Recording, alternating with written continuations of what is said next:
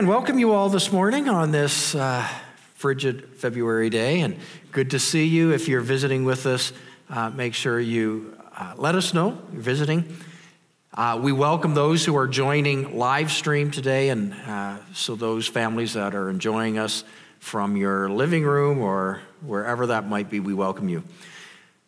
We have this year been talking of, and, and it's come out of, a, of, of really a necessity, a need. Lori made mention of it, that we are facing some tremendous needs in the world today, in our nation, and in our churches. Uh, this, not just the COVID pandemic, that has, I think, raised the bar in the problems that the churches are experiencing. But the world, the people, our community needs the Lord. And it's just not the lost, but sometimes within our local church, there's a discouragement, there is a falling away. And so we have, we've been calling so far this year that we would rally and pray. Revival starts when we begin to call on his name. And there, and if you sense, and I, I've been hearing it, I have been hearing it for some time, maybe in a heightened way, that a sense of, of where is God? I'm not sensing him. I'm not experiencing him as I used to. Uh, and maybe a lack of belief, a struggle in the areas of your faith, in the areas of, of course, getting together with brothers and sisters in the Lord, in growing together, and maybe just being discouraged with the times that we're living in. Uh, these were all spoken of. You go to the book of Timothy, and it talked about as we move towards the last day, some of the things that will happen. And so, as you read through those, we can see a number of those events taking place now. What I wanted to do, we've been talking in regard to that we've, we're in, in seasons of dryness, it's a time for our, us to put our roots down and to discover God where maybe we've not had to discover Him before. I've been experiencing that in a profound way. Discovering Him, pursuing Him. Some of that comes through the discipline of prayer and fasting. Fasting removes some of my own obstacles so I can pursue Him in more of a straight line than a crooked line. And it really prepares the way better for me to pursue God. We have been talking about the need to come into agreement in prayer. Last week, we talked about the power of being united together in prayer. Today is my, one of my favorite topics. It's a pattern because God makes invitation come into my presence. He invites us to come. That, that, that is a wonderful thing. Two, 2,000 years ago, we didn't have that available as it is available today. Prior Christ and Him going to the cross and being raised from the dead, we did not have the direct access. What they had was a set of rules and regulations that they God set in place because God desires to be with us. He desires to dwell among us. But because he's holy and we're not, there required a pattern to get there. And so in the Old Testament, in the book of Exodus and in the book of Leviticus, the second and third book of the Bible, he establishes a pattern, and the pattern was through a, a tent, this, this place that was called the tabernacle. Now, some of you maybe have studied and know a bit of the tabernacle. Some of you maybe have traveled. The tabernacle was available. They had a replica down in Toronto for a number of years. As far as I know, I don't know of a replica anywhere in Canada at this point of the tabernacle. But some of you maybe have done that and seen it. Others, maybe the tabernacle is just a, it's an Old Testament word. It was a place, you don't know much about it. And I really can't do a whole lot in a matter of a couple of days to talk about it except to give you maybe a bit of a brief about the, the focus of what the tabernacle was, because it's as significant today as it's ever been. Because as we learn from the tabernacle of the Old Testament, the way to approach God has never changed. We don't go through that as a tabernacle, we go through a different tabernacle. So let's pick this up in Hebrews chapter 9. Hebrews is a New Testament text. Hebrews chapter 9, verse 1. Now, the first covenant had regulations for worship and also an earthly sanctuary. A tabernacle was set up. Now, I want to slide down to verse 8. The Holy Spirit was showing by this that the way into the most holy place had not yet been disclosed as long as the first tabernacle was still standing. This is an illustration for the present time, indicating that the gifts and sacrifices being offered were not able to clear the conscience of the worshiper. Let me just pause before we go to the next text. Let me just go back to this. Note this there's a first covenant, second covenant. The first covenant was pre Christ, the second covenant was after Christ.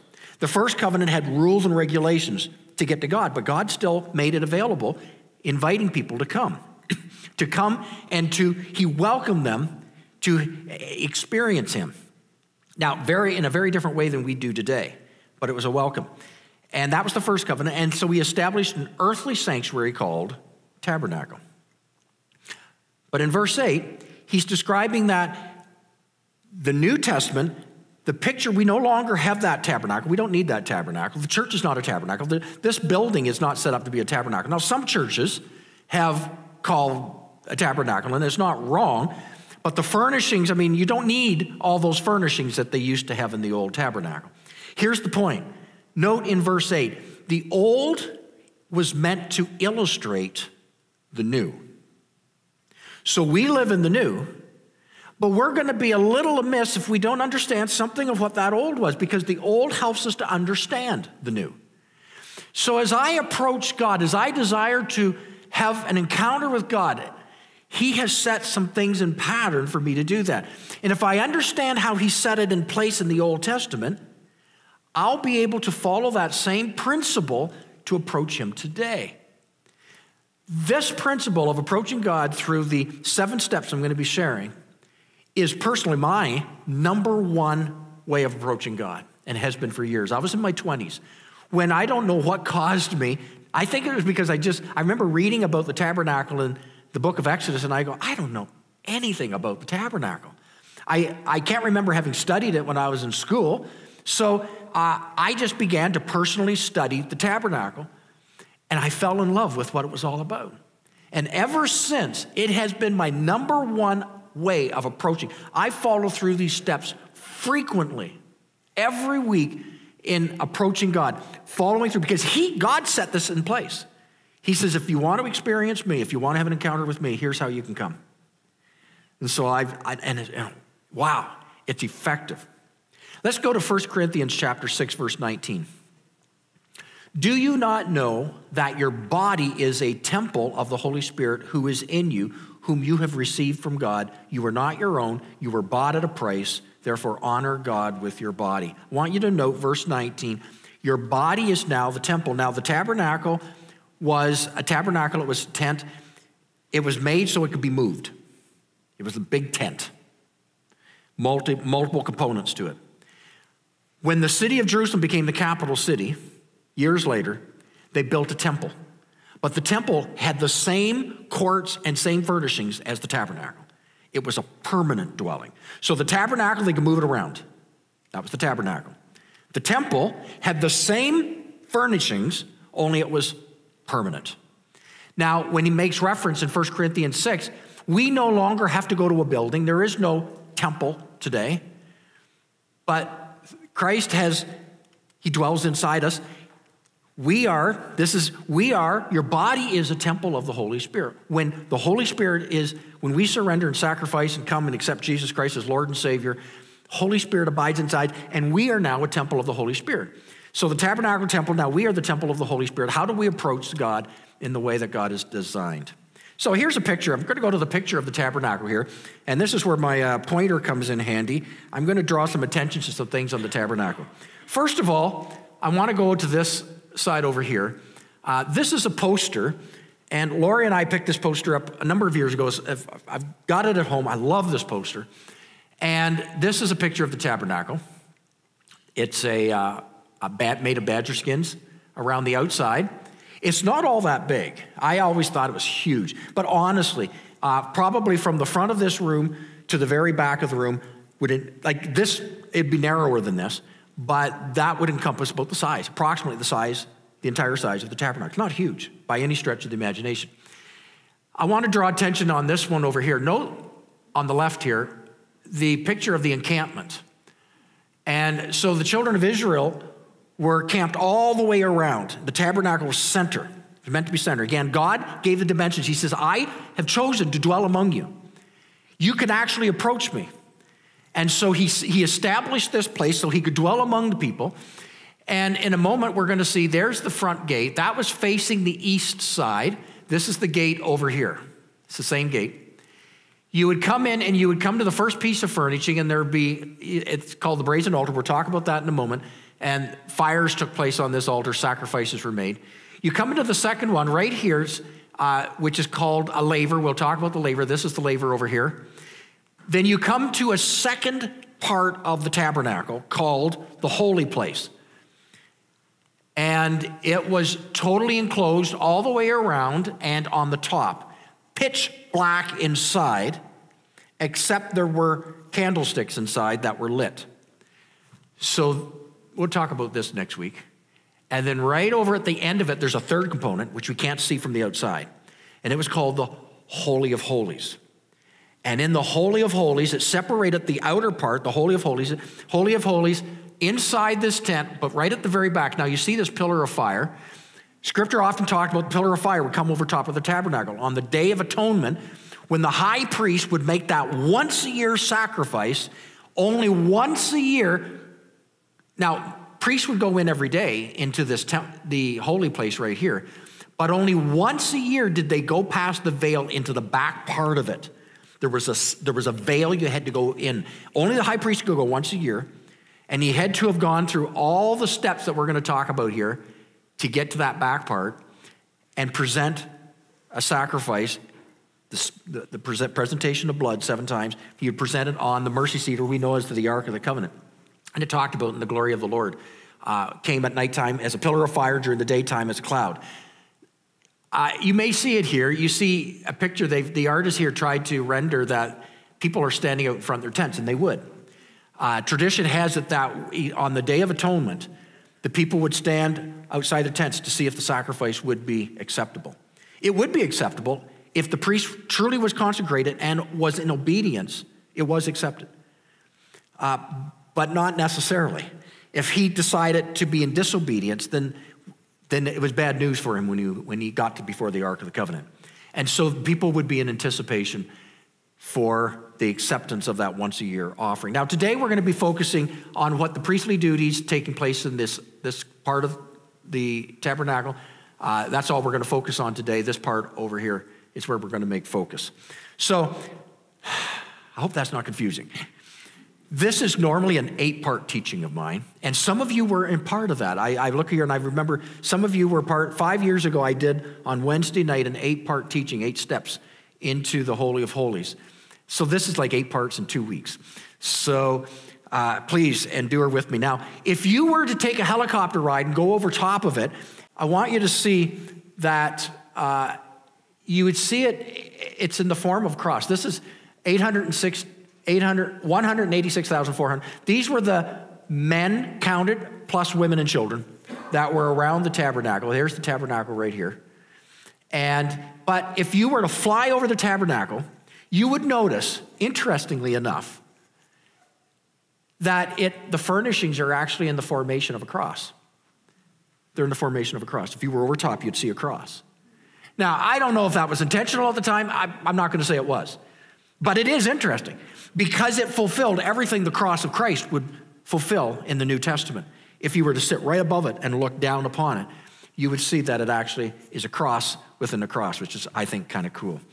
So, the seven steps into the presence of God. I hunger to know Him more. Do you? I hunger to experience His glory as some people have experienced His glory and He welcomes us. He is not a God who says, You need to keep apart from me. He is a God who says, I welcome you. We sang the song, I welcome you. What keeps us from Him is not Him. What keeps us from Him is us. There is still a way to approach Him, there is still a way to behold Him in His glory. And in His glory, you're transformed. In his glory, you will never, ever be the same. When you have tasted and seen the goodness of the Lord in the place of his glory, in the place of the holy place, your life is reformed.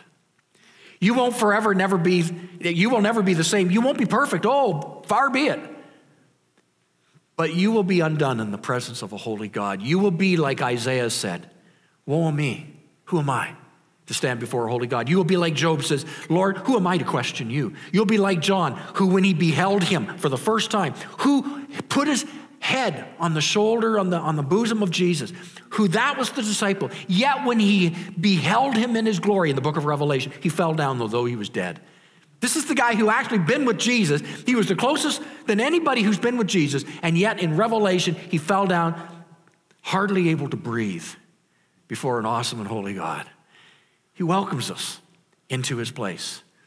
I'm going to share seven steps that God established to enter into the presence of God. And I invite you take notes, take pictures, write it down, because um, they're not necessarily easy to recall. I'll give you that. We start with the outer gate. The white linen you saw around the outer gate, and in the outer gate, there's only one or the outer court, there's only one gateway in. There's not four, there's not a back door, there's not a tunnel, there's not a ladder over top.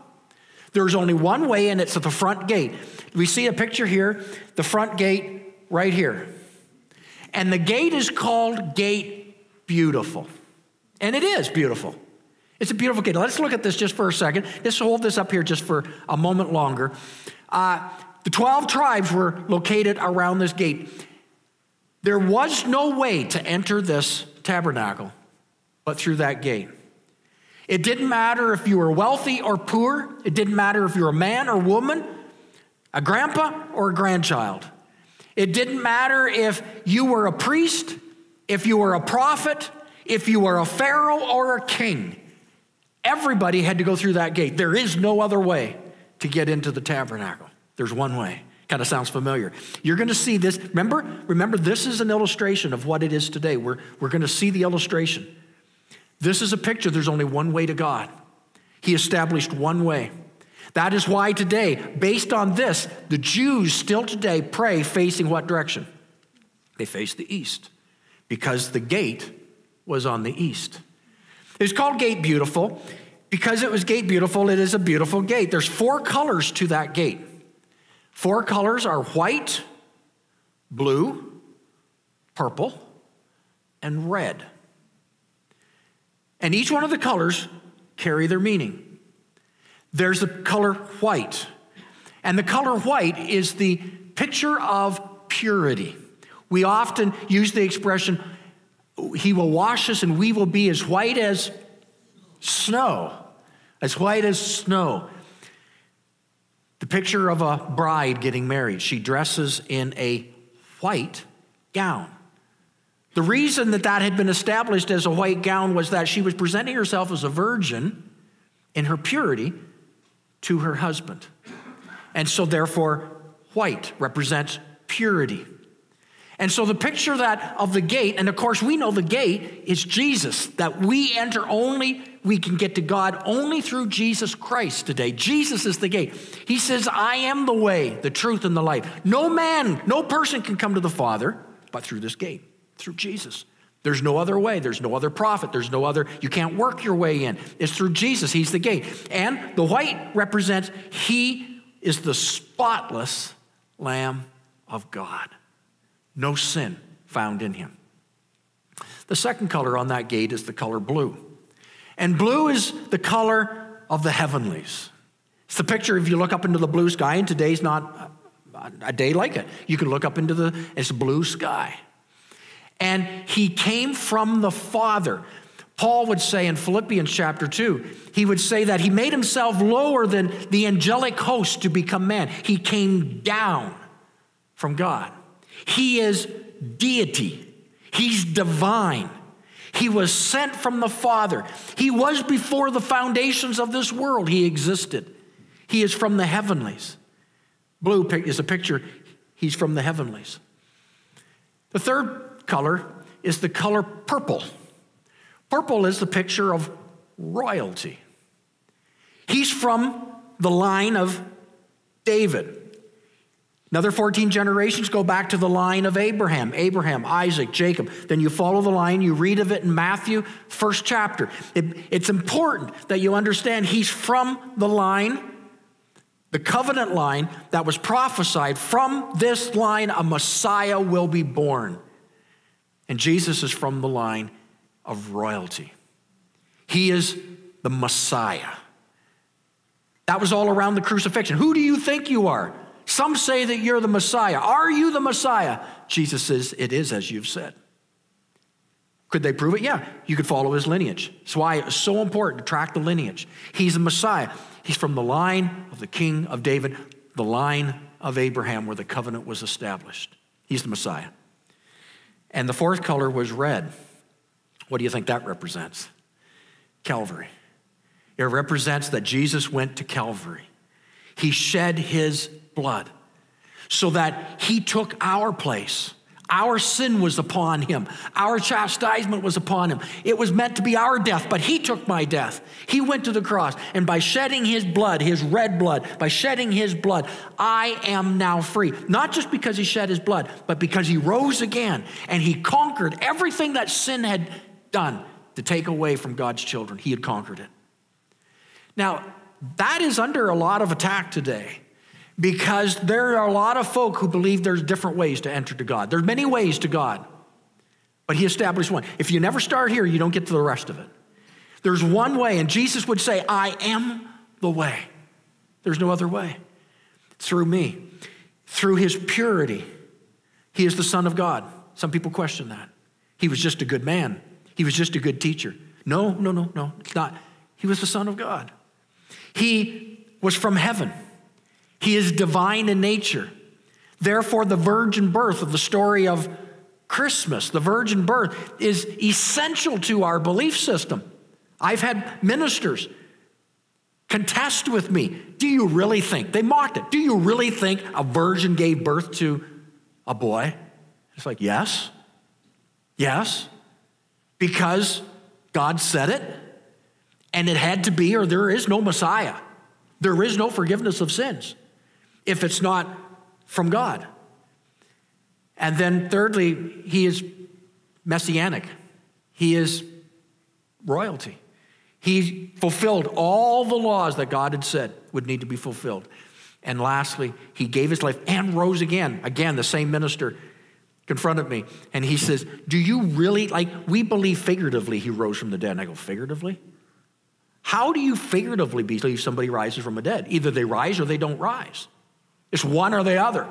I may not be the, you know, the sharpest tool in the box, but it's one or the other. He rose from the dead. And there's significant proof to that. Four ways. First step is through salvation. And we're going to go on to the next one. But that is a significant step. And I'm not going to assume, I never want to assume everybody has come in through that gate. Not everybody has come through that gate. And maybe even today, when you recognize and you see that and you, you talk of the significance of the colors uh, at the end of the service, we're going to give opportunity. If you've not received Christ as Savior uh, in His purity, His divinity, His royalty, and His sacrifice that He has given us, then welcome Him as your Savior and embrace Him as your Lord. The gate became the first, the first that they had to enter in. And as soon as you get past the gate, you enter into what we call the outer court.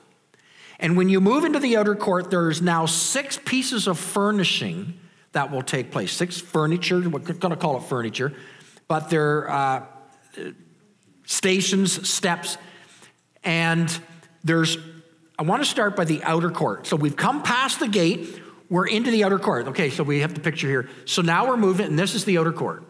All this is the outer court. We're making references. You see, there's two pieces of furnishing in the outer court. We're going to talk about, so let's talk about the outer court. There's three components to the tabernacle. There's the outer court, then they refer to the inner court. The inner court is the tent. And then at the very back of the tent, there's the Holy of Holies. That's behind the veil, where only the Ark of the Covenant is. So there's three, three sections, three courtyards that you enter in through. And this is a picture of something that God reveals 1 Thessalonians chapter 5 verse 23 May God himself the God of peace sanctify you through and through may your whole spirit soul and body be kept blameless at the coming of our Lord Jesus Christ. We this what you see here has three components to it. Body. Okay, so do something with me. Just go ahead and give yourself a little pinch. Do not pinch your husband or wife. Okay? Pascal, no. So, okay, your body, that's your body. And your body is your body is world conscious. Your body is based on its five senses. It's material. Your body, this body will one day die. I'll lay this body down. Now, there's many today, secularism, humanism believes that the end of all things. That's the end of all things. I think one of the problems we've had, because what made this pandemic particularly, particularly difficult and destructive, I would say, is too many people viewed the body as the only component. We treated it as if it was all, the be all that ends all. And that was a problem. Continues to be. That this is all, that, you know, eat, drink, be merry, for we will die, and this is the end. And no, no, it's not the end. When we were created by God in Genesis, we are never called living creatures. When He created man, He called us man, Adam after God. And not one other living creature did God move upon him and his spirit into him. Not any other creature did God do that for, except man. He breathed into man the Zoe, the Spirit of God, and life came forward.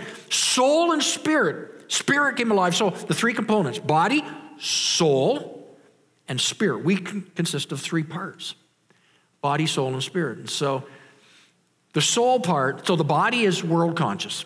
The body, we're going to represent the body as kind of like the outer court. It is the picture of, again, we're coming to God. The body's the outer court. Then the holy place is pictured of our soul. And our soul is made up of three components. And I know some people here, if you're cleansing stream people, you know the three components. What are the three components? Somebody talk to me. Keep going. Oh, there we go. So Perfect. Thank you. That must have been Sharon. Was that Sharon? That was Sharon. Mind. Uh, these are the three components of the soul. Think about this. Mind. The mind is your, your, your intellect. We have the ability to grow and learn and pass that information on. We are able to do things. I mean, I, I plug in things. I don't understand all the details of electricity, but somebody does. There's a lot of stuff I do, but, but we pass that information from generation to we grow in mind. We grow in intellect. We can grow, we can dig in, we can increase as much as we want to, or as little as we want to for that matter. So we are people of mind or intellect. That's one part of our soul. Separates us from, from creation. Secondly, we have will, our will. This is the place where we reason. We just don't have an innate instincts, you know, just innate, creatures do. But we have reason ability. We have ability to choose between things, multiple choices based on our will. When we come to God, that's why God could never force his love upon us. We have to love him back. How come God, everybody's saved? How come God, you know, condemns people to hell? No, they don't, because they have a will. They choose to do that. They choose to do that. We choose to do that. We make choices every day. That's a part of your soul that God has given us. And the third component is the spirit. And the spirit is either dead or alive, either dead or alive. And Adam, when he breathed spirit into him, he was alive. When Adam sinned, we call it the nature of sin, his spirit died. But in salvation through Christ, our spirit is quickened again, made alive in Christ. And so our spirit is dead before we come to Christ, but our spirit is made alive in Christ when we receive Christ as Lord and Savior by faith. He quickens our spirit. We come alive in spirit, called a baptism of our spirit. Baptism of our spirit. He baptizes us in His spirit. Therefore, we are to go through the waters of baptism as a testimony to everybody else. That's why we have waters of baptism. And so we're quickened alive in Christ when we come alive. We're dead in our trespasses of sin until we invite Jesus, but then we become alive in Christ, having come through the gate. We're alive in Christ. spirit baptized. And then, and then in the New Testament, he says, uh, you know, uh, be baptized in water because this becomes now your testimony, your testimony to the world of what's happened in your spirit. Three parts of man. Uh, our soul is self conscious. Remember, our body is world conscious. We're five senses. Our soul is conscious of ourselves. And uh, our spirit, our spirit is God conscious. When He quickens us, now we now we become God conscious. Until then, we don't understand Him. Until then, we, we know Him from a distance. We cannot, we are not illuminated by His Spirit. But when He quickens us through salvation, comes alive, we become conscious of God. We grow in God. We grow in His Word. So, isn't that kind of cool? So, you see the elements of the three courts. God is saying, This is the approach if you want to get to me. You come, first of all, through the gate of salvation, the gate of salvation. And Psalms, I want to I want to share three other things that when we come together and worship God, three more components. Psalms 100, verse 4. Some of you will recognize it.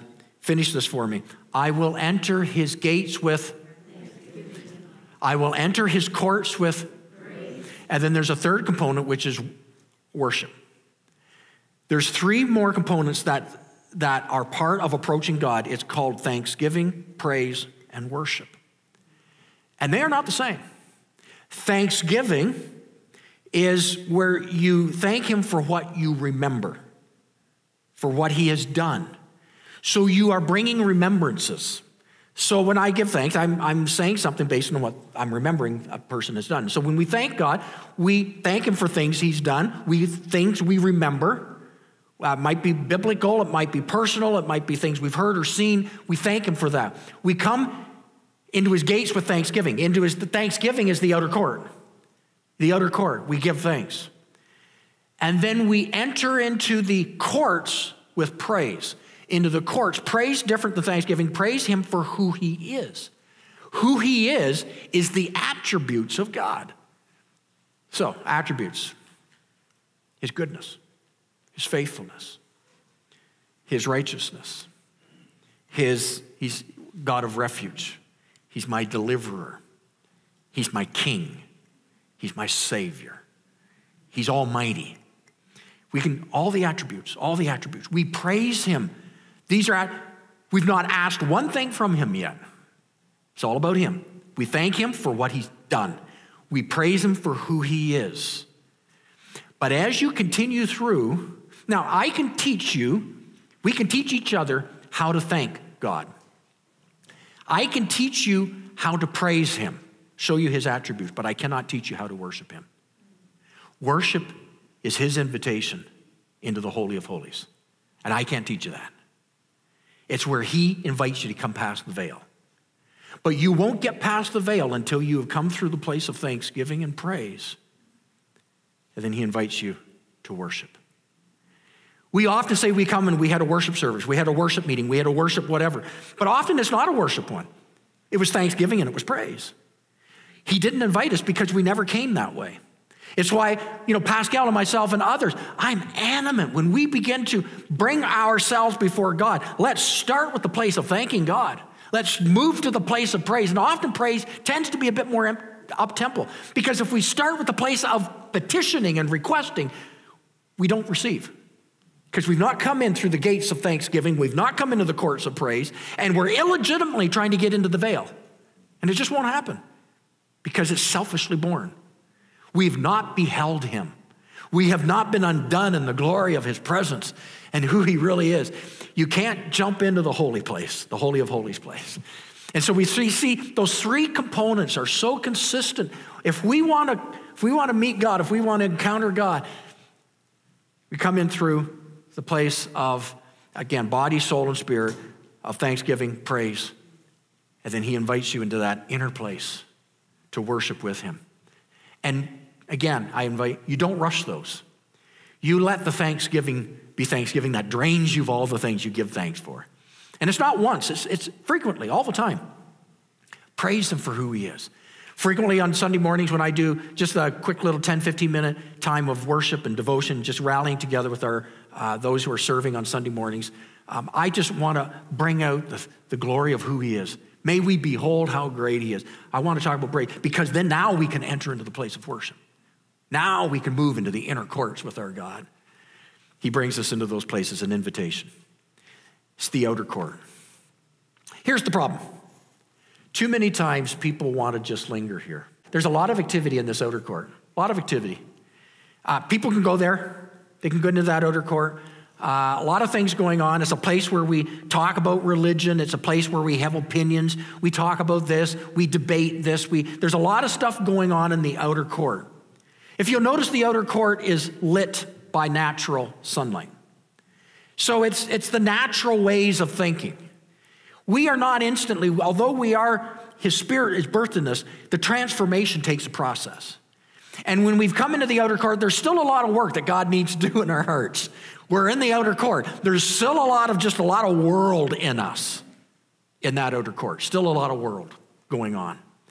A lot of debate, opinions, fleshly opinions, earthly circumstances, and they, if you're not careful, they will hinder your pursuit of ever going any farther. You'll stop there. I'm going to suggest, I'm going to suggest based on the New Testament, if it said many will not go beyond, many stop right there. The majority never get to the next stage.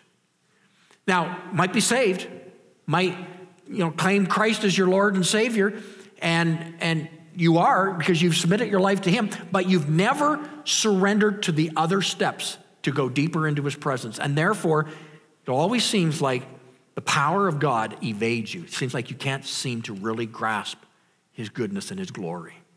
It seems outside your reach. Uh, in the outer court, you live often a life of whatever. In the outer court, you never get past seeing how God can serve you.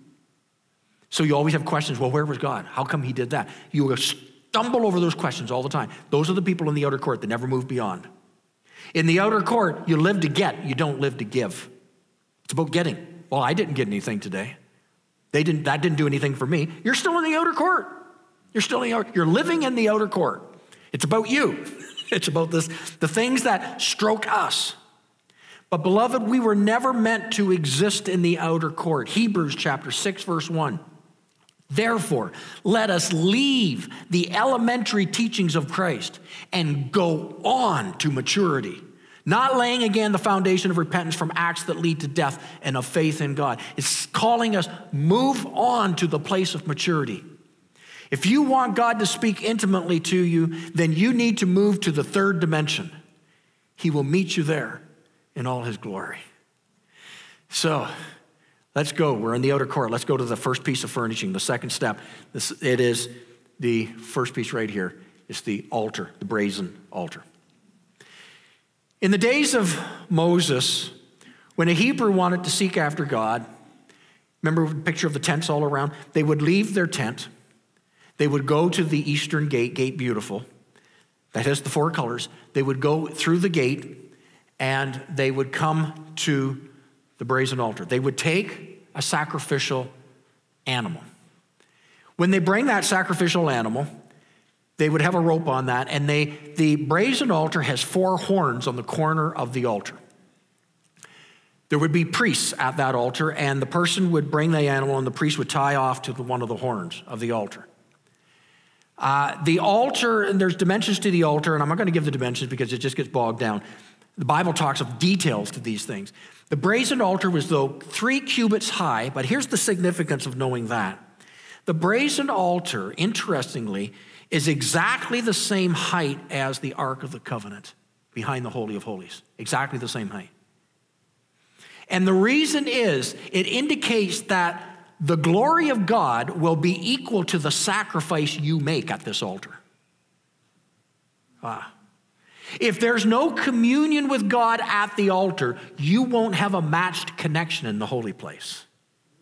To be effective in experiencing God, your sacrifice must measure up. Your sacrifice of what you now about to offer, your sacrifice must measure up to the level of the glory you want to experience when you pray. And so, if you want God's glory, but you aren't willing to sacrifice, it's based on the same level. Where is God's glory? Well, how much have you sacrificed? Now, you can't earn God, you can't earn Him. But you need to sacrifice, recognizing I got to lay my life down on the altar of sacrifice. And as I lay my life based on how much I, David would say, I will offer God sacrifice that cost me something. And David was known to having great encounters with God because he knew extravagant sacrifice to God. If God is only here and there for you, if He's take it and leave it for you, you can go days without interaction with Him. You occasionally enter in with the fellowship of the body. If that's all it is, then the sacrifices, I'm going to hazard is down really low. The glory is going to be very low. But if you start to lay your life out in hunger and desperation for Him, and you pull out the sacrifices in full obedience, as you build that altar, so will the glory be. It's the same height. It was the same height. Too many believers want great power with little or no sacrifice. We don't want to give up everything on that brazen altar. We don't want to die or submit to everything. We don't want to give up living to some of the areas of our sin. We negotiate. We want to negotiate with God on those things. Well, if we do, you won't experience the glory. You will have withheld. You cannot get into the presence of God without stopping first. This is the first of the furnishings the brazen altar, the place of sacrifice. It's the place of blood. And here is where we call it the altar of forgiveness. Now, I'm going to have a number of names, and these, these are significant to me. I, I mention these names almost every day in my prayer time. It's an altar of forgiveness. When you get to the next one, it's an altar of yieldedness. When I get to the next piece of furniture, it's an altar of knowledge. Then the next one's the altar of wisdom. The next one is the place of understanding. And then behind the veil is the place of holiness. Follow with me salvation, forgiveness, yieldedness, knowledge, wisdom, understanding, holiness. You follow through. That's how he established it. God, you want to come to me. You begin to go from one to the next. You can't jump and miss this one. It's not like, you know, you're mini putting. You don't want that one because it's too hard. You jump and go to the next one. You can't do that in this one. It doesn't work. The altar of forgiveness. It had four horns in the altar. The animal would be tied, and there's four steps regarding the forgiveness here. First of all, is the step of the confession of sins. And in the step of the confession of sin, what would happen is you would bring the animal, you tie off to one of the horns, and then the person would begin to confess, confess the things in their heart, the, the sins in their heart. Um, I'm going to liken it to Psalms 130. David, he would do the same thing in Psalms 139. David would say, Where can I go from your spirit? Where can I flee from your presence? And then he says in verse 23 Search me, God, and know my heart. Test me and know my anxious thoughts. See, see if there is any offensive way in me, and lead me in the way everlasting. It is here we confess our sins. If we confess our sins, the Bible said he is what? Faithful and just to forgive us of our sins. But we have to confess them. And it's not like a way back when. It's, you know, we continue. Interestingly, every time the priest walked by, there needed to be that representation of the sacrifice of confession. The things regularly, we, we need confession. So we confess. So, as a place where the, the sacrifice uh, is started with, I confess my sins. The second part, step two, is the sacrifice is made, and there the priest would then cut the throat of the animal, and the animal, the blood would drain out, and the animal would be the sacrifice. And it's their sacrifice, it's a sacrifice of obedience. The third thing, then that animal was placed upon the altar, and the animal was burned. And the picture there is that their sins are nailed to the cross and removed as far as the east is from the west. It's the dying to the flesh the dying to the flesh. And the fourth part of it was then that after it was nailed and it was burned, the picture of being burned, then they were consecrated for service. Then the priest consecrated them and they moved on. They were consecrated. They, they had the right to take the next step. Now, let me just back that up again. Again, first part, confessing of our sins. When we go into the place of forgiveness, that's why Jesus, when he taught in the Lord's Prayer, he said, if you go and you begin to pray and you say, Lord, uh, forgive me as I forgive others. Whoops, and Jesus said, if you if you if you've got some things you need to get forgiveness over, get up and do it because we can't go on. So he Jesus alludes to this in the Lord's Prayer that forgiveness is always the first step. When we started our year off on in January the 2nd, that first Sunday, the first thing we talked about here was forgiveness. Always start with the place of forgiveness. Lord, search my heart. What is, what is there? And deal with it. God, I lay this before you. And then, then the sacrifice. The sacrifice is the sacrifice in obedience I give myself now because of the blood of Christ. We don't have to kill any animals any day. I'm really thankful I live in that day. We don't have to kill any animal. Jesus has paid it all. He was the, but I still have to appropriate that for my situation. Thank you, Jesus. I've received the sacrifice. And then I nail my sins. The sins are nailed. Ephesians talk about it that the old man is dead. You're now alive in Christ. Why do we keep resurrecting the old? The old man is dead. Leave him dead, right? The old nature is dead. I talked a few weeks ago that he has set us free. It's like you're in jail, he's unlocked it, but we're still standing behind the bars. No, we're free. Open the bars and live in freedom. There's a difference to being free and living in freedom. And so, therein, the old man is dead, He's been crucified, been nailed to the cross. We live in freedom to Christ Jesus. I live in my freedom. You know, the flesh keeps wanting to rise up. We have to keep putting it down. And then you're consecrated to move on. You're blessed. You're released to move on. Which takes us to the last one we're looking at the laver. The laver, the picture of the laver here, the laver is right there, and it's the wash basin. It was brazen laver, they called it, the wash basin. And they would wash at this basin. Now, the cool thing about the laver is the laver was made out of mirrors from the women. So the women were to bring in their mirrors and they made the whole thing. When you look down into the water to wash, you're looking, what are you looking at? You're looking at you. You're looking at you. The whole thing was made out of mirrors. And it's interesting, I think it's interesting, that where did the women get the mirrors from? I mean, they're in a desert. Well, they got the mirrors from Egypt. Remember when they left Egypt, they took the plunder of Egypt with them. They took all the opulence of Egypt with them, the mirrors. And Egypt was a proud land. It was a land that they were, they, you know, mirror, mirror on the wall, who's the fairest of, right? They were a proud people.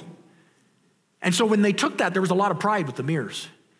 And when you got to the laver, it was to lay down your pride, it was to lay down yourself and all the things you're trying to make of you and let God wash you and make you like Him. And so when they left the place of forgiveness, they went to the place, the laver is a place of yieldedness. You yield to Him, you yield to the washing. He says, I will wash you and you will be as white as snow. How does He wash us? By his word. As we read his word, and we have, you know, illustrations of that he washes us. Actually, I looked it up in the scriptures, just popped out of my mind where it talks about you're washed by the, by the washing of his word.